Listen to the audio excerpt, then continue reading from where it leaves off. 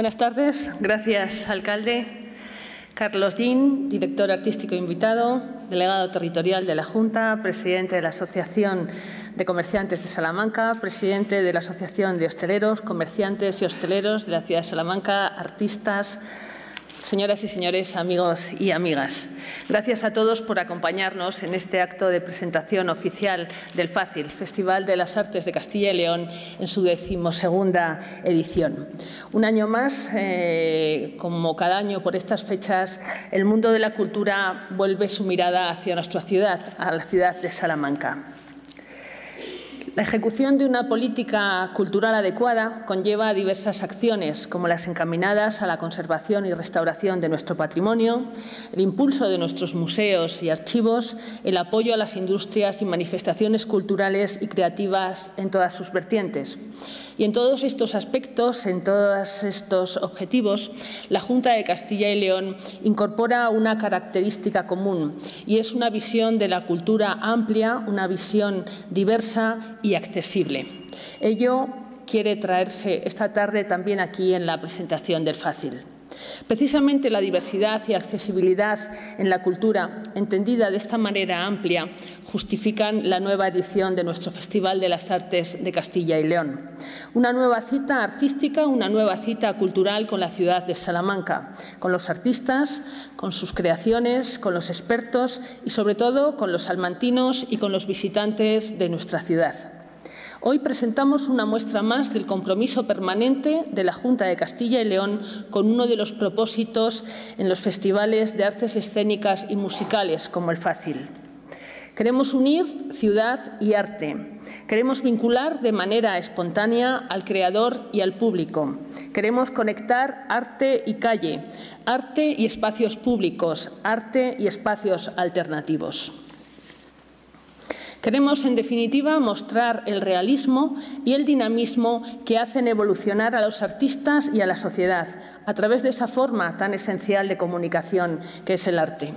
Hoy presentamos Fácil como una de las acciones concretas de la Junta para poner de manera directa en contacto a las personas con el arte. Y Salamanca cuenta además con una muestra de estas acciones a través de otras actuaciones de la Junta, como la organización de la Feria de Teatro de Castilla y León que se celebra en Ciudad Rodrigo. Pero además en Segovia Titirimundi, en Ávila el Festival Internacional de Circo de Castilla y León, en León, el Festival de la Magia. Son muchas las colaboraciones con diversas entidades que constituyen ejemplos permanentes de la preocupación de la Junta de Castilla y León por acercar el arte a las personas, a todas las personas, a través de nuestros festivales de artes escénicas y musicales. Hoy queremos destacar que en Salamanca se celebra nuevamente el Fácil. Del 1 al 5 de junio, en esta edición del Fácil tendremos ocasión de ver a los grandes artistas del momento. Y lo haremos en una ciudad en cuya configuración la cultura ha tenido históricamente un papel esencial.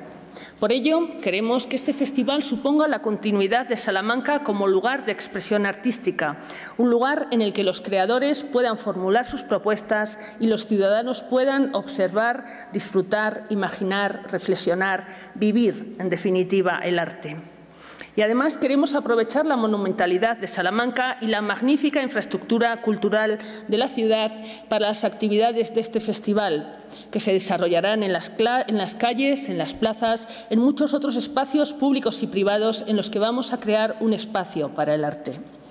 La organización y celebración del Fácil cuenta en Salamanca con algo muy importante, que es la implicación de todos, de su ayuntamiento, gracias alcalde, de su universidad, de sus comerciantes, de sus hosteleros, gracias a la Asociación de Empresarios Salmantinos de Comercio y a la Asociación de Hostelería de Salamanca. Vuestro compromiso es esencial para el éxito de este festival y por ello la Junta de Castilla y León en esta presentación quiere daros las gracias. Además, contamos con el apoyo de Renfe. Gracias a su generosa colaboración, contamos con una magnífica difusión en los trayectos de línea Salamanca-Madrid. Amigas y amigos, en esta decimosegunda edición de nuestro festival les proponemos, como dice el lema elegido para esta ocasión, un viaje por el arte contemporáneo a través de la música. Música como manifestación de libertad de expresión, música como manifestación de la libertad de comunicación, música especializada y música popular, música y teatro, música y danza, música y poesía. En definitiva, lo que el fácil pretende es la conexión entre la música y todos nuestros sentidos. Gracias a nuestro director artístico.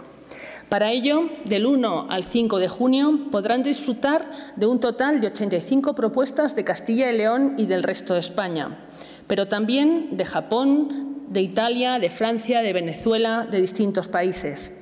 Son todas ellas propuestas de calidad, propuestas abiertas y dirigidas a todos los públicos.